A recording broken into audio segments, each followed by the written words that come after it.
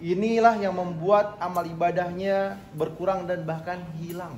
Jadi, Jadi saya dibiasakan, saya selalu umroh sama istri saya.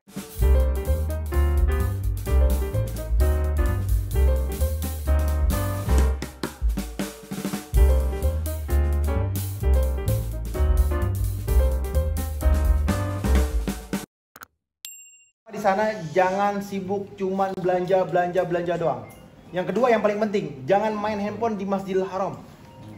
Ya kan baru eh, mau tawaf yang pertama dia ngambil umroh dia pakai pakaian putih-putih, akhirnya dia pegang handphonenya, dia selfie dan lain sebagainya.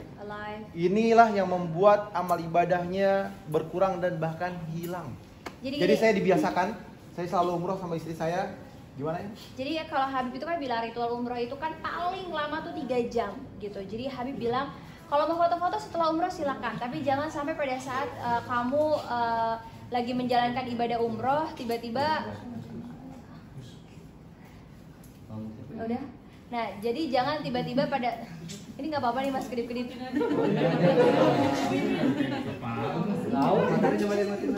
Kode tuh kode. Nah, jadi mudah-mudahan jadi kalau Habib bilang kan dari awal tuh bahwa kalau ibadah umroh itu cuma tiga jam aja. Betul. Jadi uh, jangan sampai kita tiga jam sibuk foto-foto, IG story, video, konten segala macam gitu. Karena kan kita mau mencari keridhoannya Allah, mau mencari uh, berkahnya Allah dan mabrur. Dan juga yang kedua adalah uh, kita kan kalau mau ketemu orang penting atau bos aja, kayak teman-teman di sini pasti kalau ketemu bos nggak mungkin sambil main handphone kan, nggak mungkin sambil IG story ya pak, apa segala macam. Makanya uh, kalau kita ketemu sesama manusia aja kita masih ada hormat, masih ada adab dan akhlaknya.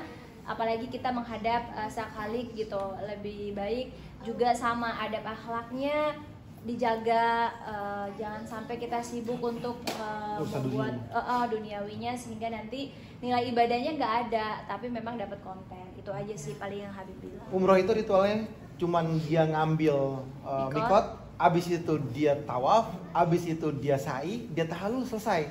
Sebentar nah, kurang, ya. kurang lebih itu tiga jaman plus minus. Ketika ada yang jalannya pelan, terlambat dan us- usahakan adalah khusyuk ingat kepada Allah Subhanahu Wa Taala pakai putih-putih mencerminkan besok kita akan dikafankan dan besok kita akan mati dan besok kita akan dikuburkan dan besok kita akan dimintai pertanggungjawaban kita di dunia apa yang kita lakukan, apa yang kita perbuat, apa yang kita kerjakan, tangan kita digunakan buat apa, lidah kita dipakai buat apa, pikiran kita digunakan buat apa, kaki kita digunakan ke mana langkahnya. Ya jadi kalau mau bikin konten setelahnya kata Habib ya silahkan. Yang penting ritual 3 jam yang sakral itu bisa lebih. Terutama juga adab kalau kita lagi ke Raudhah di makamnya Rasul juga sama. Jangan sampai uh, itu mengurangi uh, keberkahan kita dalam menjalankan ibadah. Itu aja sih. Mudah-mudahan bermanfaat